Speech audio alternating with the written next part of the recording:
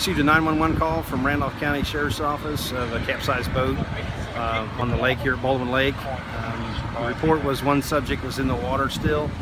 Um, I dispatched two officers with a john boat that were close by. Uh, they stated that they located the subject, but the subject at the time was deceased. Uh, quickly got him in the boat, got him to shore to medical personnel, and that's pretty much it. Just And the other two, unfortunate.